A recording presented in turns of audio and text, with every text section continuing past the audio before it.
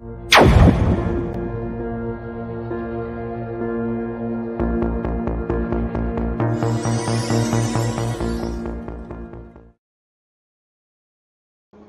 everyone, greetings from Asian Productivity Organization. Hope everyone is staying safe and healthy during this pandemic. I am Asithambi Manikam from Policy and Analysis Division, and thanks to our viewers for joining us on this APO Productivity Talk series. And today we will discuss about uh, millennials and productivity. Currently, we work with the different generation people in our workplace, including millennials and Generation Z. People over 45 with university degree were taught a modern worldview, and people under 35 with a university degree were taught a postmodern worldview, and therefore it must be managed differently. To share more insights with us about millennials and productivity, I am honored to welcome our chief guest speaker, Dr. Karl James Moore, Associate Professor from McGill University, Canada. How are you, Dr. Karl? Fine, very well, thank you. Uh, it's warm here in Montreal. Thank you. Uh, before I invite Dr. Karl to start his presentation, we would like to encourage our viewers to send your questions and comments to Dr. Karl with your name and country, and we would respond to your questions. Dr. Karl, now the floor is yours. Thank you very much and appreciate your introduction this morning and the chance to speak to people across Asia that are doing important things from what I've read about your group and from the connection I've had with them. What I'd like to talk about is my latest book. And this is the title of the book is Okay Boomer. And that's a mem that was uh, going around about a year, a year and a half ago, which was talking about the fact is that boomers like to make fun of younger people. And the boomers and the Generation X, the older ones, are the people in charge, but they like to make fun of younger people. But what I argued is that a lot of what younger people want, Generation Zs and millennials is what we want as boomers and Xers within a year or two.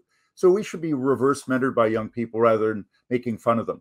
And this is a picture of a trip from Asia. I took a bunch of students couple years ago to uh, Malaysia, and this is a picture of the students I over in Malaysia. And we've done six trips to Asia because it's such an important part of the world and becoming even more important. So as a good uh, professor, I've got a considerable number of uh, research interviews to back up what I'm saying. So it's partly philosophical. We'll get into that in a few minutes, but it's based on a lot of conversations. Over 700 with C suite executives. Now, C suite, C suite, C suite rather, executives are executives C in their titles. So CEO, COO, CMO, CFO, and so on. They're among the most senior leaders in any organization. So I read hundreds of them, a few of the names like Justin Trudeau or Sir Richard Branson, you'd probably recognize. Then there's a lot of executives from Canada, the US, Europe. I teach at Oxford. I was there on the faculty for a number of years and still teach over there from time to time. And then my university, McGill in Montreal, has a MBA in Tokyo.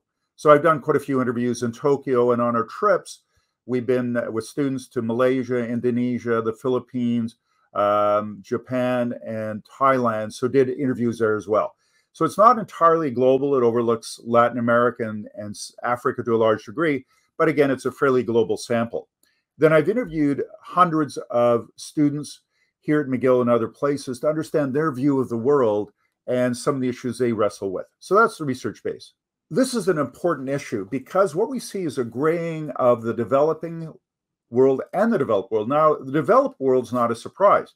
You think uh, in much of Europe, you think Italy and Portugal and so on, the number of children per woman is 1.2, 1.3, considerably below 2.1, which is what is required uh, to replace people in the current generation, let alone grow. So we see that there's an aging of Europe, particularly. We see some of that aging occurring in the US, Canada, Australia, but we're somewhat redeemed by immigration. It puts pressure on our society to accept people different than ourselves as Canadians or Americans or Australians. That's something our societies occasionally wrestle with. But in Canada, it's been a long tradition. My uh, grandparents moved here from Finland, Ireland on the other side. And it's a long tradition, though the countries where the people are coming from are more and more in Asia. So, again, some tensions, but we're hopefully making our way through that. But even the developing world there's a shortage of young people coming. This means that focusing on the Zs and the millennials is particularly important. Now, we see that in China with the one child policy. Meant that there's fewer young Chinese. And so it's a bit more of a pyramid like this, where you have quite a few older people, often four grandparents for one grandchild, where there's few down here. Now, with in China, with couples being allowed to have more children, that is becoming less of an issue for young people, for children, but for adults, there's quite a, uh, a missing set of people there because of the one child policy. This is showing uh, the Canadian population, male and female, blue and red, from the 1970s to the early 2000s. So this is my generation. You can see the baby boomers is that bulge there in the middle and having fewer children. So it's something where it starts off as a pyramid and then the pyramid, as you can see, goes up. What that says, and this is very similar to the US, the UK, uh, much of Europe, perhaps even more intense in continental Europe, is that there's this bulge of boomers, but there's a lack of young people coming along. And that's what we're wrestling with and thinking about quite a bit. So, is this anything new at all? And the answer is well, no, we've always had generations. Uh, Self evidently, we, we have that for the world to continue. But what is different about this is that we have three to four generations together. And this has really not happened before, perhaps our parents' generation somewhat, but for the vast majority of human history, you simply weren't around. People didn't exist. I'll show you a slide on that in a minute. So, what is new is that we have three or four generations working together, where in the past was a pyramid where when I worked at IBM years ago, people in the 20s were at the bottom, people in the 30s were here, 40s and 50s, and then the 50s and 60s ran the place. So, partly how you got up into the hierarchy and got into more important leadership positions was by simply aging, which is connected with getting experience. What we see today is quite interesting and different that you have um, high potentials, which are anointed uh, in their 20s, and they are taken up into the hierarchy higher up than their age would indicate. So it turns that age thing on its on a, on its uh, edge. Plus, we also have that people in their 50s and 60s may pull back a bit and give up their senior roles and become a senior engineer or a senior IT person, bringing their wisdom and knowledge, but not working the long hours required at the top. So, in the past, age meant you ran things, where today, that's not quite as true, particularly in the West. But I think parts of China are uh, catching up with this as well. This is from Wikipedia, and it shows kind of the ages typically of most of human history. And we see that people over 50 would no lot not be around because of the average age was much lower than that. And so it's only in the last two generations that we see people working in their 60s and 70s. It was, uh, you, you can recall that 65 is kind of often seen as a traditional age for retirement. This was based on Germany during Bismarck's time, where there's very few people over 65 so that it was a nice pension, but very few actually got to the age where they could enjoy having the pension. Where today, what we see in North America and Europe is that people are doing early retirement, or some people are continue to work longer than they have in the past. So one expression is 60 is the new 40. So that if you're in good health and you have your uh, mind with you there, that you can continue to work longer than in the past. But again, this is a modern phenomena that you can see here from the age. This had not happened in the past. This is an interesting idea, and what we got from the Roman uh, Roman Empire, Roman army of cohorts, and saying that in the Roman Empire that they had the Roman army, which was a powerful mechanism, that the men would stay in the army for 20 years. And then Rome would retire them, give them land across the empire, which meant they had spies that were very loyal to Rome all over the, the empire. So it's the idea that the men you were with and spent 20 years fighting with and moving around the empire with, you came very close to and you became like them. So it's the idea of a cohort. And we see that your the events you go through, in their in their case it was war, the events that we go through influence us and how we view the world.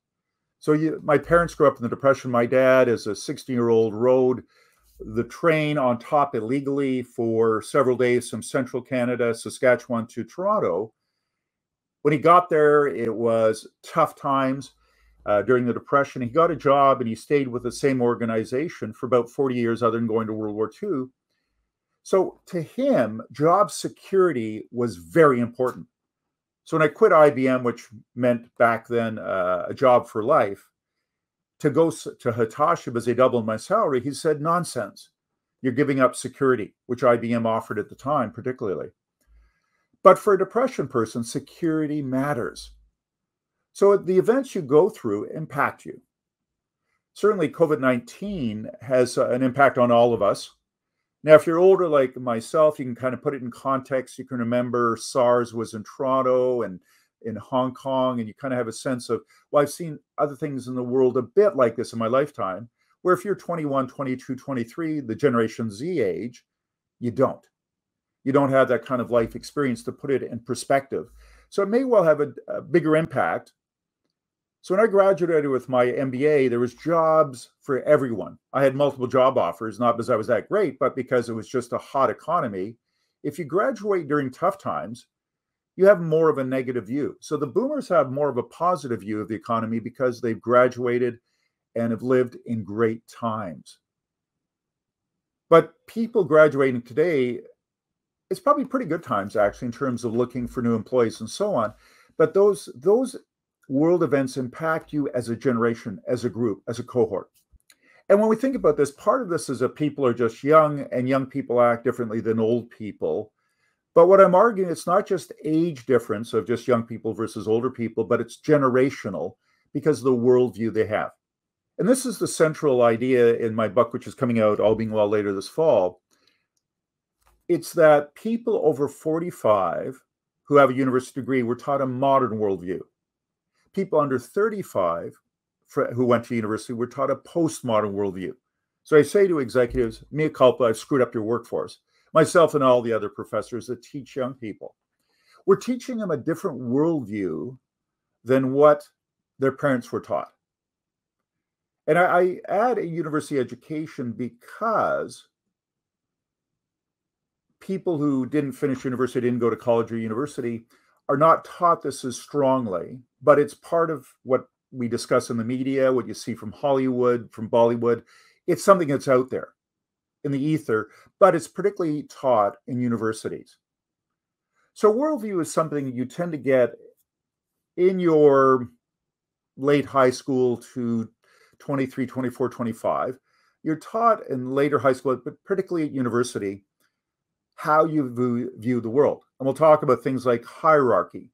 What is the nature of truth? Who has truth? Who can teach who? These are some of the critical questions that come with a worldview. So that's what we're going to talk about today. So, to the next slide, please. I'll talk about the modern worldview. This is the worldview that was taught by, or to rather, the boomers. And it's a worldview that made sense in its day and it was a reaction to what had come before it. So we see is that it's mainly people over 40, as I mentioned. Um, we had a touching faith in science. Though we look what our grandparents lived, in our case in Northern Ontario, Saskatchewan, in um, homes that were one or two bedroom that didn't have running water, didn't have toilets, that our grandparents were here, then our my brother and I did better we see an increasing, everything was getting better. We could know truth thanks to science, and we could know what was going on. So, this is the worldview that we were taught. One part of it was famous cover of Time magazine 1967 Is God Dead? And there was a repost uh, a few years ago by a couple of friends of mine, John Micklethwait, who was the editor chief, the economist now, the editor chief of Bloomberg, and Adrian Wooldridge, who's the political editor of the Economist. God is back.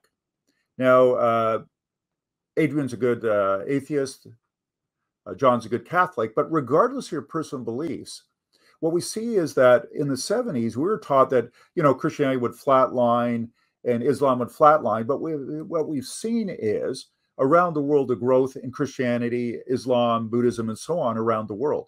So that the idea of God is back. So what it is, is you have a worldview you were taught, but in the case of the modern worldview, it fell short. Now, the worldview, part of the modern worldview is to reject everything that came before it as inferior, whether it be in art or architecture or in music as something that was lesser because we were the pinnacle of human evolution. So the modern worldview rejected what came before it. Now, the postmodern world, postmodern or after modern, recognized that the modern worldview had failed. The things that I was taught, that my generation was taught, fell short.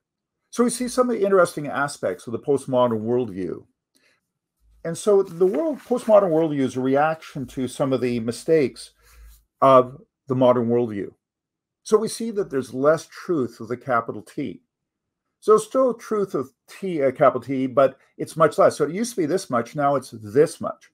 So what, what is truth and who has truth is more of a question concept. We see a decline in hierarchy. So that there used to be that much difference in the top and bottom. Let me give you an example from medicine that might resonate with you. When I was young, we'd go see a doctor, be a man back then. He'd have a white coat on, a stethoscope around his neck, and he'd be sitting behind a desk you could land an aircraft carrier on. It was so big. He was God. We were here. And when he gave us a prescription, my mom would get it filled. I would take it.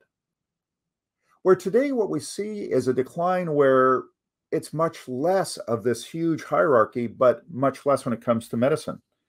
So these days, when I go see the, the doctor, I would Google what's wrong with me and come up with two or three explanations, which I would share with the doctor. So I come prepared with some knowledge, and I still accept that he's the doctor, she's the doctor, but there's less hierarchy in medicine. We used to call some medical things that came from Asia, we call the doctors quacks.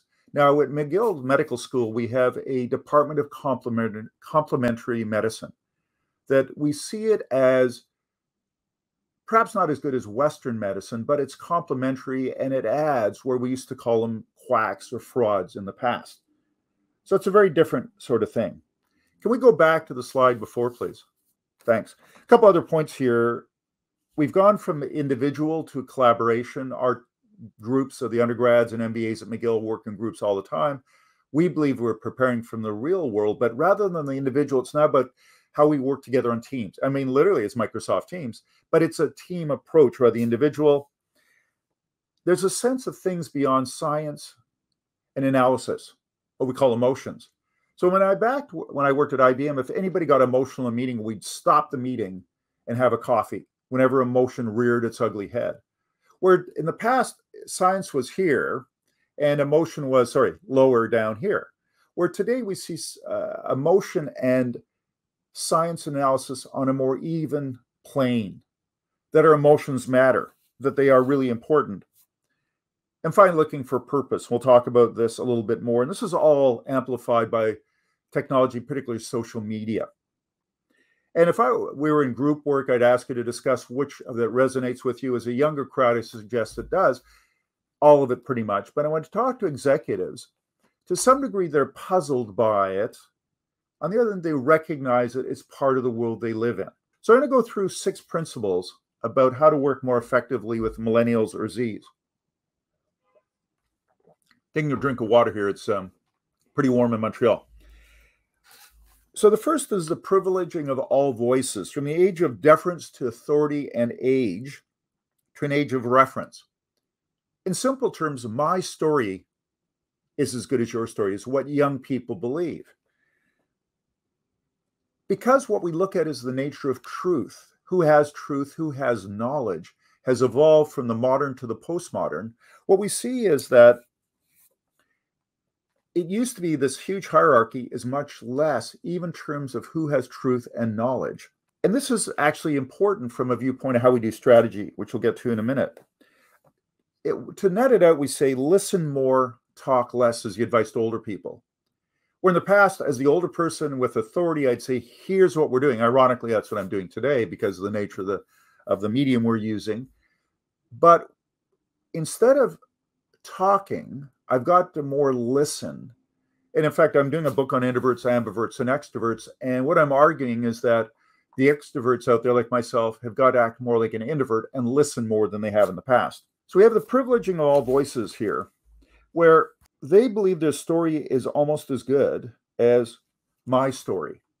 That's not true to some degree. That my experience and knowledge and wisdom and gain through decades of work is valuable. And we can undervalue that sometimes as young people, but it has declined relatively. This is uh, perhaps more of a challenge in parts of Asia where parts of cultures say that older people are the ones you listen to. And you should. But what I'm arguing to older people is that how we develop strategy has evolved in the postmodern world. So there's two big schools of strategy. One is Henry Mintzberg here at McGill, and the other one is Michael Porter at Harvard. So I, I took classes with Michael back a long time ago at Harvard, and we gave him an honorary doctorate a couple years ago at McGill, and I spent an hour interviewing him for our national newspaper, the Globe and Mail. It was interesting because they're still relevant. When I interview CEOs, we see that they're still relevant. Michael's more deliberate approach. So the deliberate approach is that the CEO, with one or two of his top people, perhaps from McKinsey, Bain, or BCG, sits down and comes up with the plan and sends it down the pyramid. And we salute and go, Yes, ma'am. That's why you're the boss. Love your ideas. Where in a world which isn't changing much, that approach worked. And for example, I talked to the CEO of Air France, Ben Smith, and Ben pointed out that for big strategic decisions like what kind of plane are we going to have in the fleet, he makes that decision with some advice and he takes it to the board because it's billions of dollars. And if we get it wrong, Air France is in trouble and Ben Career's in trouble as well. So sometimes it makes sense to be from the top down. But the emergent approach, which Mintzberg has talked about and written about for years now, is more of today's world. So the emergent approach says that ideas come from the frontline troops dealing in a turbulent environment, a turbulent world, create ideas, and their ideas bubble up. Now, what it is, the role of senior management is still important. Senior managers decide which ideas which bubble up are ones that get resources, that grow and are spread across organization to create new strategies.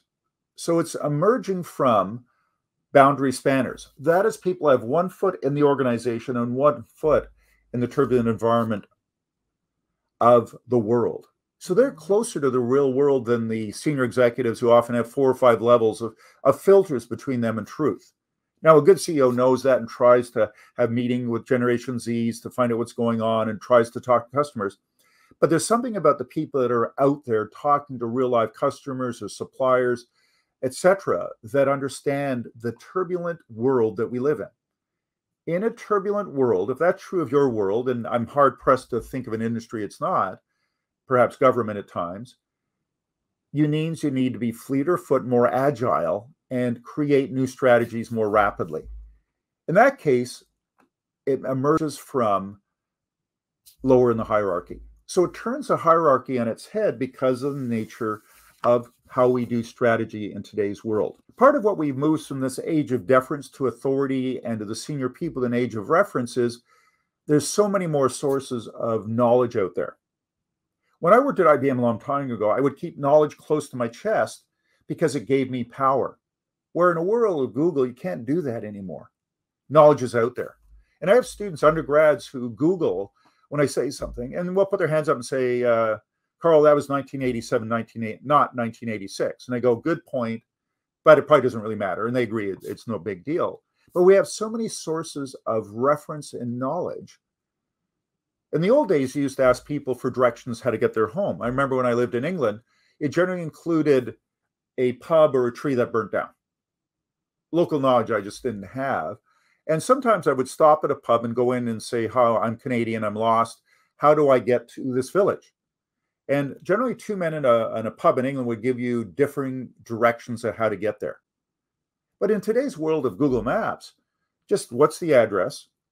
And I'll put in Google Maps, and I don't even want your instructions because of fluidity of traffic conditions means that I may go a different direction. I drove from Quebec City, but three hour drive from Montreal yesterday, back and forth, see some family with my wife who's from there. And again, it sent me on different routes based on live data. Now, an accident might happen a minute or two in front of me, which changed things, but by and large, I trust that information. This is a shift of knowledge and of truth who has it and where it is. Oh, one other point I want to get into uh, before we get that is about active listening. So, part of what you have to do is talk less, listen more. You've got to be an active listener. And this is from the Harvard Business Review Christine Riordan from the University of Kentucky, talks about three principles to be a better listener and talks about recognize the, the full range of verbal and nonverbal cues. So you not only listen to the words, you watch the person gestures, the tone, their facial expressions. And this is what's part of tough on Zoom. You only get from kind of here up sort of thing. You don't see the person squirming. It's harder to see the facial expressions because of the size of your screen off, and you might be looking at your your iPhone or something, and it's just hard to see. Where in in a meeting with the person in in the flesh, it's going to be much easier to do. Then you process and give back and summarize to show the person you were listening and show that you understood them. And then what you do is respond. So this is again three-step model that uh, Christine is coming up, which I think is very helpful. So a bit there in active listening. Some you could do some more research to find out more about it. Okay, so we've talked about the first point. The second point is feedback. And feedback why and how. Let's get to the next slide. First is the need for feedback. So we see is that Generation Z and younger millennials grew up playing video games. Our son plays video games. Um, I try to beat him with no success, but video games give you enormous amount of feedback as you go through it. Also, social media. Many of us, uh, and I do this sometimes.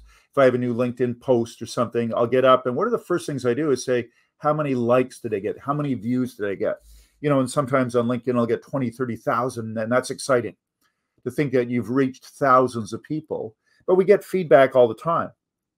We also have helicopter parents in the US and Canada where um, they spend a lot of time with their kids. They're talking. My wife's a grade three teacher. They're talking to the teacher in a way that the boomers parents didn't worry about. The teachers had authority. They did their job and they did it well. And you didn't bug them about it. And again, in US schools, particularly, there's enormous amount of feedback that was not given to the boomers or to the senior generations. What is interesting is when I give feedback to students, and sometimes they ask for so much, I go, That's it, I'm all done. I've ran out of feedback. But I spend more time as a manager, as a professor as well in the, in the classroom when students present, thinking about what feedback can I give them as they really are looking for that feedback the interesting thing is they're willing to disagree with my feedback. And that's probably because I'm giving them a lot more feedback, five or six points rather than one or two. So the fifth or sixth point is maybe a little bit more iffy. But they're less impressed with hierarchy and that I don't have truth of the capital T, but I do have experience. I have valuable things. I'm the boss. That's always, uh, you know, kind of clarifies things. But they're willing to disagree with my feedback, which is just amazing in a way to me. Now, there's three types of uh, feedback and this is kind of a practical thing for managers or what you're looking for from your manager if you're a younger person. So, one is uh, appreciation, and we'll talk about that for a minute. There's coaching, which is feedback, kind of coaching as a, co- a coach would in a sport, whether it be football, uh, soccer to most of the world, where the coach would say, you should do this, you should do that, be more effective. And we like to have coaching to help us how to improve our presentations, how to improve what we do on a Zoom call, for example. The third is evaluation, where we're ranked at, in the past, it's been the end of the year, the annual review. Um, a lot of companies, the Valley, have moved to much more regular feedback because the annual review was something that both sides of the table hated. So we see that feedback is more regular very regular and uh, i find z's and millennials want feedback from me in a way they didn't in the past or their older generations didn't. So we've got to give more feedback and it's three types of feedback appreciation coaching and evaluation. So let me talk about appreciation for a minute. So there's five types of appreciation you in controlled work. This is a call called the five languages of appreciation. It came out of family theory the five languages of love but paul white one of the co-authors turned it into a book about appreciation at work and this is something that Generation Zs really do appreciate, as well as older people as well. So, one is words. So, I'll just go briefly through these five. And the idea is a manager should be able to show all five types. But this is certain but we'll get to in a minute. One is words. Great job. I appreciate how well your presentation went. So give words of appreciation. Other people say talk is cheap words, yada, yada, you just talk all the time. What I'd like is some quality time where you listen to me.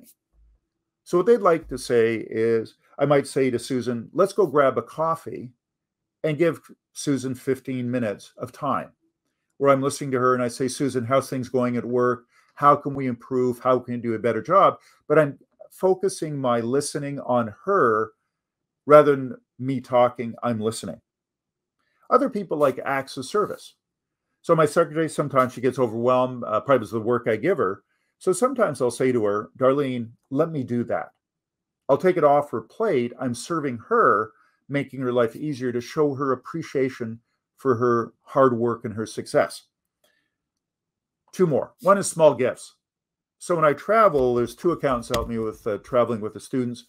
We get them a small gift when we're over in uh, Tokyo uh, two years ago. Gave it to them a small ceremony to the accountants, and it wasn't the cost of the gift.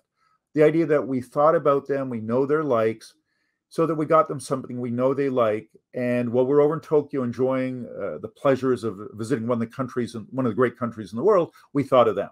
So it shows appreciation. The final one, which is more iffy at work, is touch.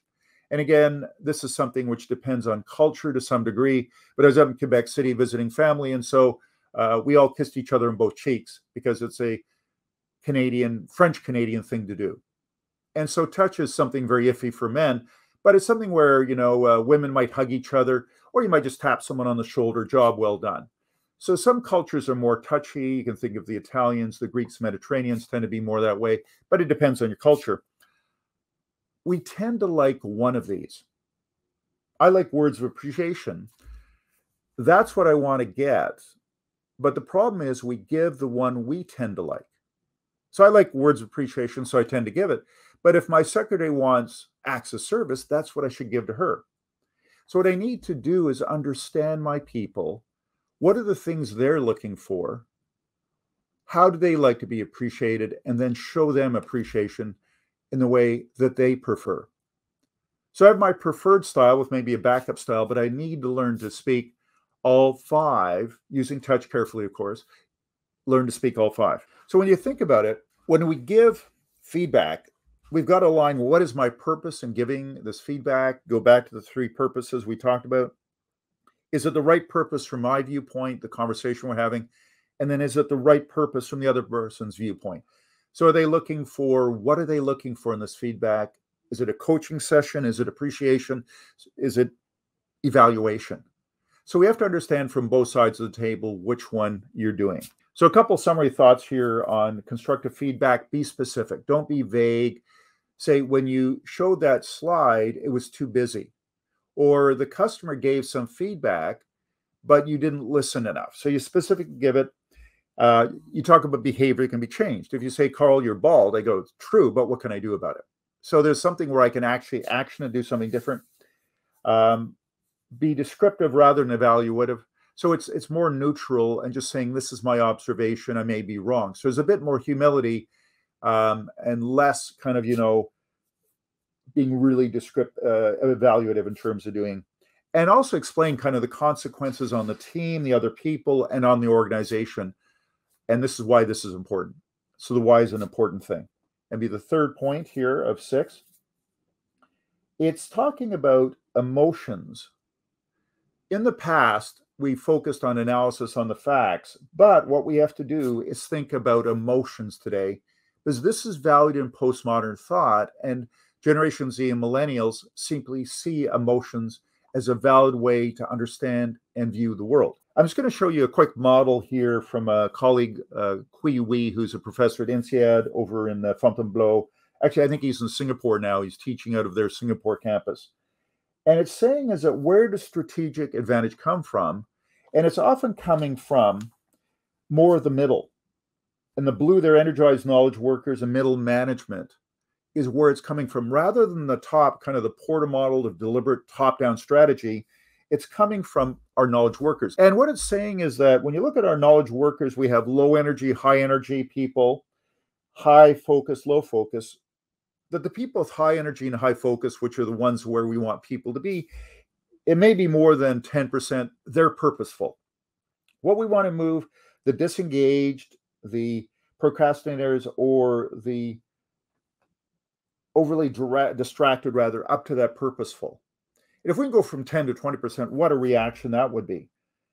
So, what we need to do is think about how do we get energy among our people and how do we give them focus? Now, focus is explaining what they should do, the energy is the emotion side. So, Quy has come up with the five levers of superior performance focusing on emotions. And I've done some work with him and taught this many times. It's a great idea. So, saying there's five levers. So, as a manager, as a leader, we've got to think about how do I manage the emotions, not the emotional quotient EQ, which is what I have or you have. It's at a group level. So, as a manager, I'm going to manage five emotions with my people in order to get them to be in that high energy, high focus quadrant, particularly high energy part of it. So, these are the five um, emotions that Quy has talked about from the literature. One is pride. So, I want to manage the pride among my people because if I'm proud of my organization, proud of what I'm doing, I'm more apt to work harder. I'm more energy. I'm more going to work longer. I'm going to put myself into it, not that I feel abused, but because I have pride of what I'm doing and where I am. Oxford University, where I taught for years, great pride in being one of the great universities in the world, um, really made people work harder to be there. Another one is fun. So, idea is that we need to have fun at work in order to lead to innovation. So, innovation is something we all need in virtually every organization. How you get that is by having fun and passionate work. So, it's a time to loosen up because in that lies more creative ideas. So, there's got to be laughter at time. There's got to be that sense of, of having some fun along the way. We have to have constructive discontent. And this is an idea we learned from Japan to a large degree about coming to work unhappy and willing to change things not necessarily huge changes, but change things and never be satisfied with the status quo, that we always want to move forward. So we want that emotion of continuous improvement, of continuous discontent. We want hope. We're willing to sacrifice today if we have hope of a better future, that things will get brighter in the future. So we want to create hope. So the thing is for the manager to take specific actions to create hope for a better future and being authentic, we'll get into in a minute. So the next point I want to talk about is the need for purpose among millennials and Generation Z. There's a famous bumper sticker. It's probably too small for you to see there, but it's replicated there. He who dies with the most toys wins. Is a my when I say that, my students just look horrified at the boomers. But we measured ourselves by how much money we had, how nice a car we drove, and things like that. But what millennials are looking for are, is a sense of meaning at work and in life and purpose. So we want this renewed sense of purpose at work, and we need to bring that forward. So this is something uh, Dan Pontefract, he's a friend of mine out in uh, British Columbia, came up with this in a book. Uh, and he talks about the sweet spot where what we want to do, and what I have to do is find this for myself, but also for my people. So I want to help them find that sweet spot where I'm good at it, the world needs it, so willing to pay me for it, and I find pleasure and joy in it. So that's what I'm looking for is finding something where it's kind of natural for me. I find I have a passion for it. It's relevant to the business, the organization I'm with, and they're willing to pay me for it and will make the world a better place. So just the idea of just making money, driving up the share price is an old school idea that just doesn't resonate with young people. So move on to our fifth point is this idea of authentic leadership, being real. So millennials love authenticity. Now, boomers do as well, and the Xers, but it's a really strong value, this idea of authentic. You think about craft beers. You think about locavores, people that want food from the local area or cheese from their part of the country. This is something about authenticity, and they want authentic leaders, authentic people that ring true. That it's not kind of the the person in a suit who acts a certain way because they wear a suit and they wear a uniform, but it comes from the heart. So, this is what millennials and Zs are looking for, particularly authentic leadership, where we show more of the self. And, you know, we might have a favorite baseball team or a football team, and we're more apt to show our personality, talk about our families a bit, let people know there's a human being in there, not just someone who's a cog in the wheel, but someone who is real and someone that I can feel a sense of human connection to. That's what I'm looking for. So, our final point here of the sex is mentoring. Now, I have a couple mentors in their 80s. It doesn't occur to them that they should ask my advice. But what we see is mentoring needs to be a two way street. So, young people have to reverse mentor older people. Older people and myself have to be reverse mentored. That is taught by young people. So I have undergraduates working for me, six or seven on my radio show or for my classes and so on. And I ask them, how can I improve? Have I said something inappropriate? How can we get better? What are the technologies I should be looking for? What is the local, the latest social media, things like this that I shouldn't be involved with? So I think reverse mentoring is something that is a challenge for young people. The question is, how do you reverse mentor your manager, your boss, in a respectful, polite way? But you've got to train them so they learn from your ideas. Because this is important from a strategic viewpoint and from a viewpoint of good, authentic leadership in today's world. So the last two slides, this is one, and I'll show you in a minute, is some of the work I publish. I blog for Forbes every week, and I publish a column for the Globe and Mail every two weeks on uh, Indigenous leadership, and that's the final slide. There's some articles of mine have been uh, published in, uh, or my research in The Economist uh, and other sources. So if you're looking for more of these ideas, these last two slides have some sources you could go to. So let me finish there. Asi, did you have some questions based on the presentation today? Yes. Uh, thank you very much for your wonderful and detailed presentation, Cole. And uh, I'm really very much impressed to know your forthcoming book later this year on how to effectively work with millennials. It was really an eye-opening session to know the challenges faced by millennials in the workplace and also the solutions for it. You also nicely explained the leadership qualities to manage the workforces of diverse age groups.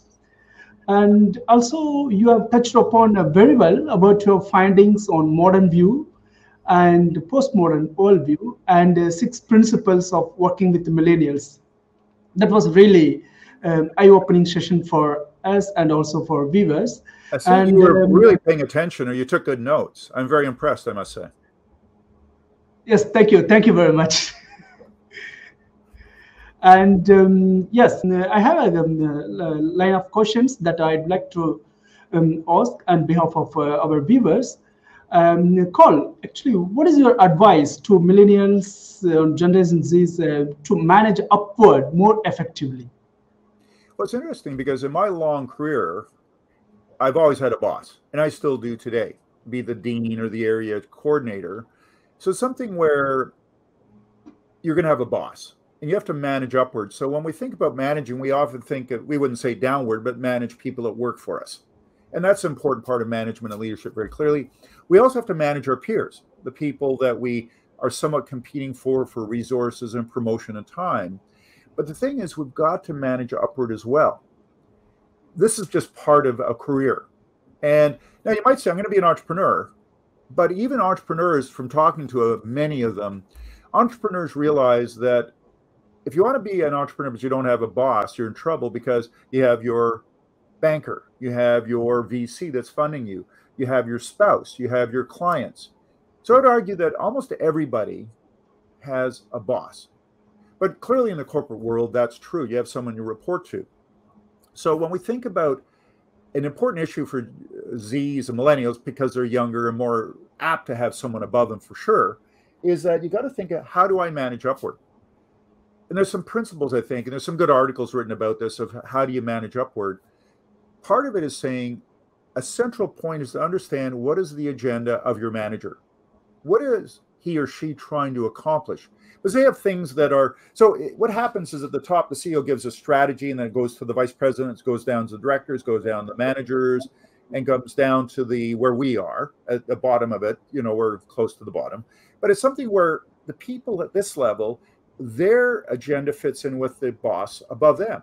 And the director fits in with the vice president who fits in with the ceo so at our level we want to fit in and we want to understand and ceo wants to share their strategy with us so that our job fits in overall with the direction of the organization. One of the key things is to ask your manager what is their agenda that year. What are the top three or four things they're working on? Because I'm more apt to be seen as valuable to them if I'm working on an issue which is important to them. that they are concerned about. And if I'm working on their number 17 thing, they don't care. But if I'm helping them with number two or number three or number one, I'm going to be valuable and useful to them. So, a critical starting point is what is the boss trying to accomplish this year and how can I help them? Because it's going to mean that I'm a valuable, useful person to them. So, that's, a, I think, a, a good, really good, important point to think about. Thank you. Thank you very much, uh. I, I, think that was a very well uh, received. If you want to improve your productivity or to go up, definitely you need to have a boss to, uh, from strategic point of view, so that you will get keep improving, right?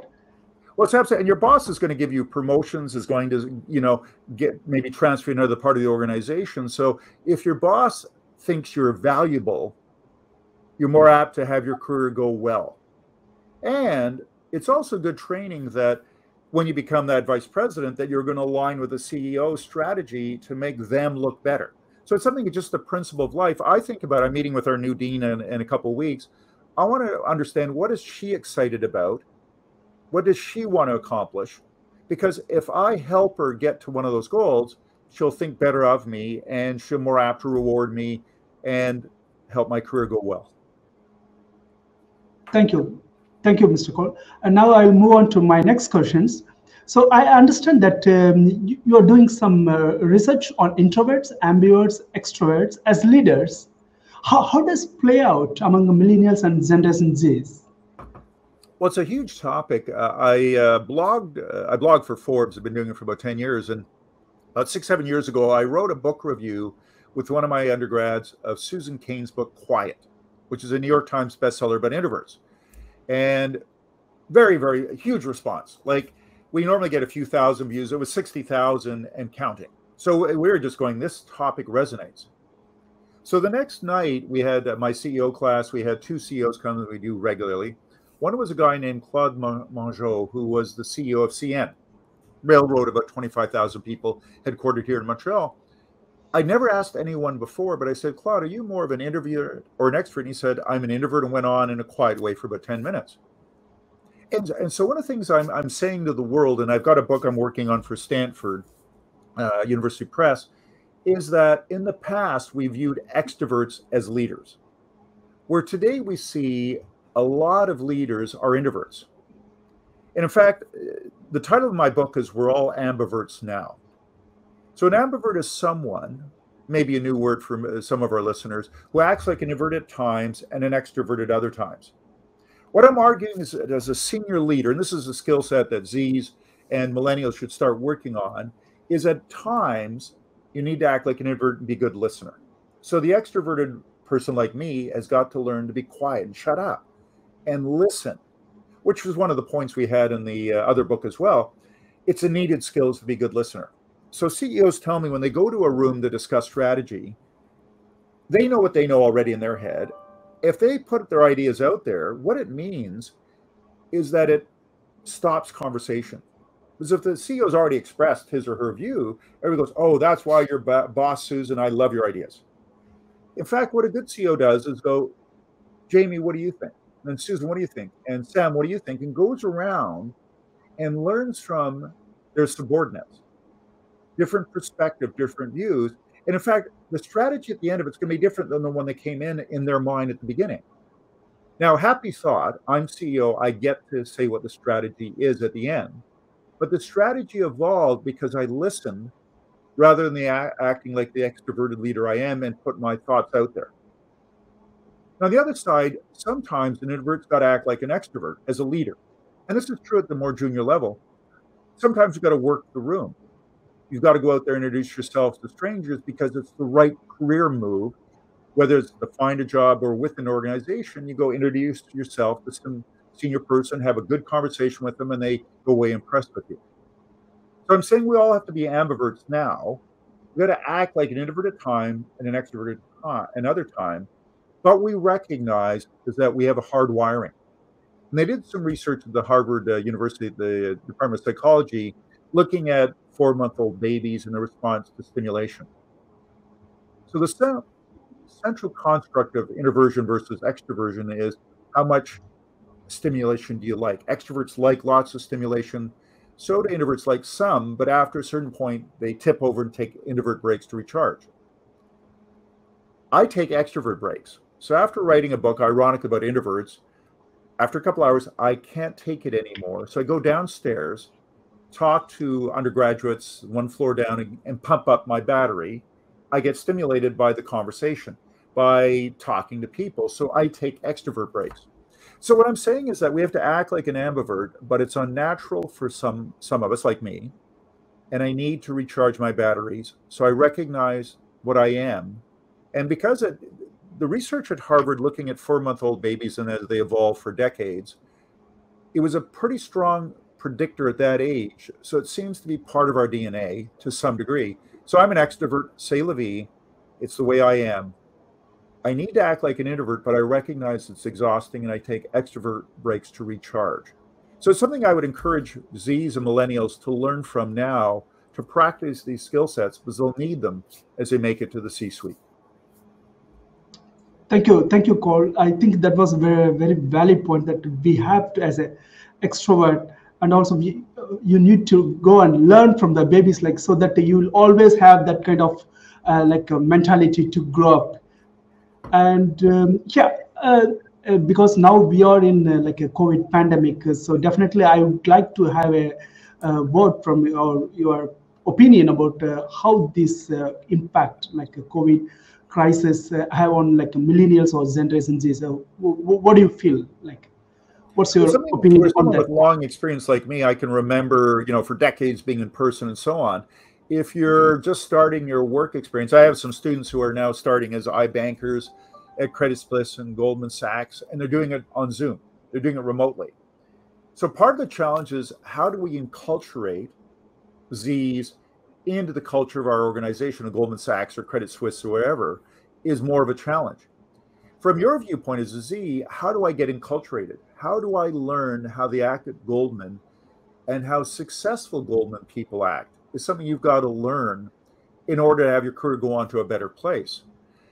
So it's a challenge from one side of the table, HR, the corporate head people, the headquarters people in New York, is how do we enculturate young people. From your viewpoint as a Generation Z, how do I become enculturated? So, being, understanding and grasping the culture is an important thing. Uh, you can do that through conversations with mentors, so reading books about the company, uh, talking to uh, older people about the history and who are the heroes here, who are the ones we tell stories about, what are the uh, kind of thoughts of wisdom people share at Goldman or at Credit Suisse, or whatever, in terms of how we do things around here.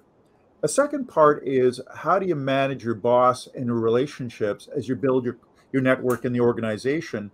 It's tough to do over Teams or Zoom.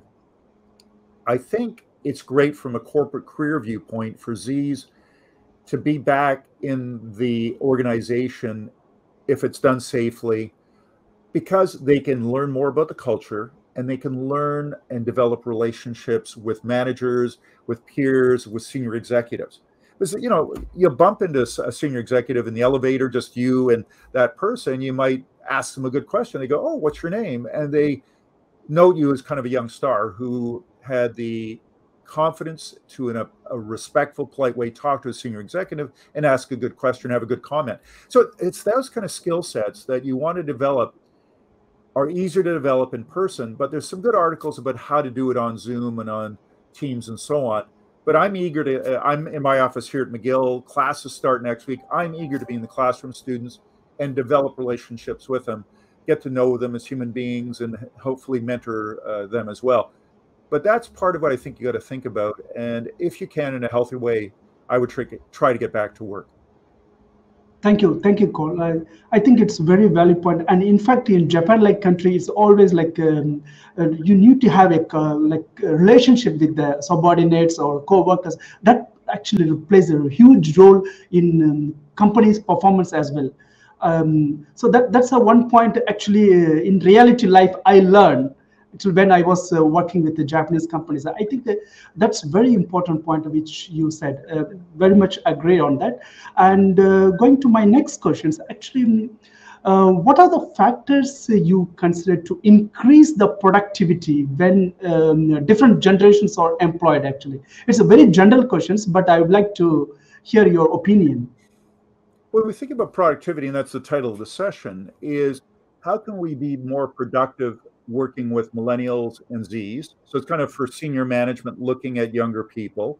As well, it's partly the challenge is to the millennials and the Zs, you know, a big part of this audience, is how do I manage upward? How do I work effectively? And by understanding the modern worldview is a helpful starting place, so we recognize that it's been replaced by the postmodern, that some of our senior people, our older people, are still have some remnants of that thinking. So it's helpful to understand their thinking because it will help you appreciate where they're coming from and know how to work with them and be able to present things in a way that makes sense to them.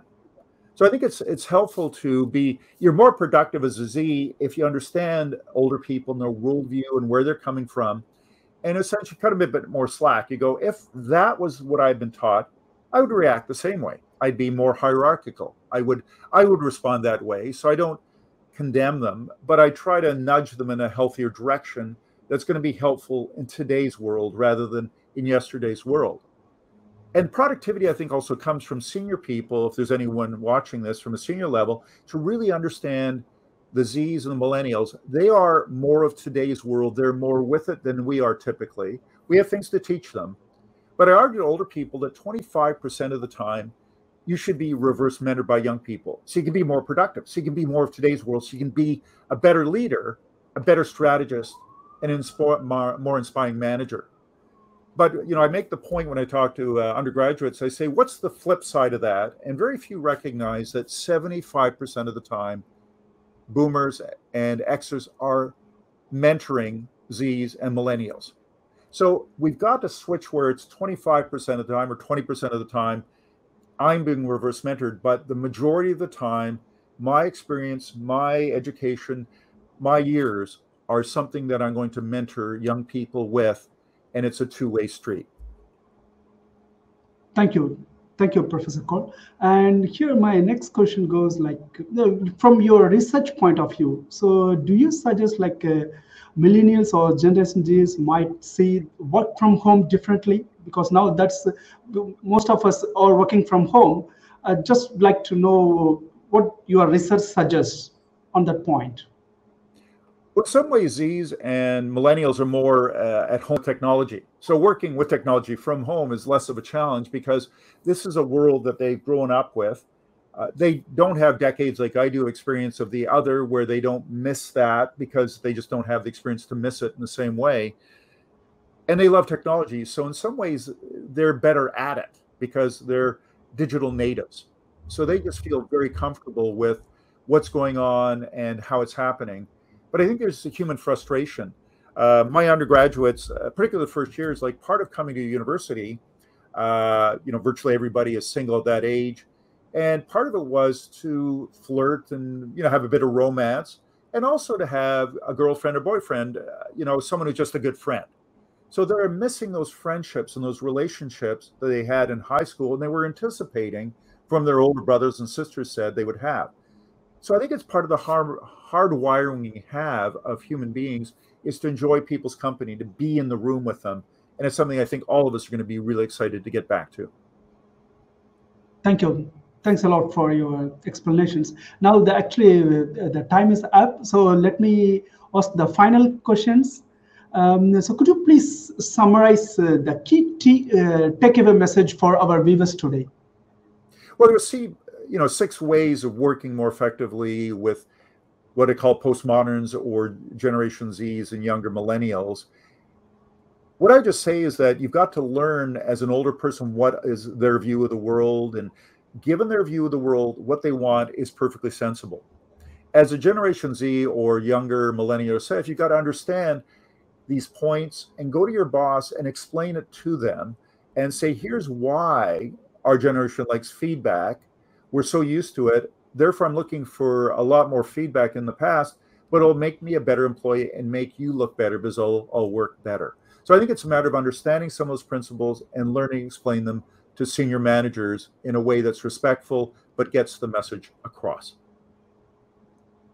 Thank you. Thank you, Karl. And thanks a lot for your valuable insights. And I believe all our viewers found your information and the insights very useful. Uh, I would request to post your questions in the comment section and uh, we shall have respond those questions in the comment box when it is going on um, broadcasting in YouTube channel.